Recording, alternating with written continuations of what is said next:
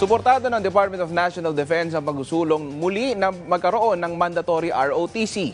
Nagpahayag ng kahandaan si Defense Secretary Carlito Galvez Jr. na ipatupad ang programa. Sa katunayan, ang DND at Armed Forces of the Philippines kasama ang Commission on Higher Education at Supporting Agency ay mayroon ng proposed concept para sa pagpapatupad ng ROTC program.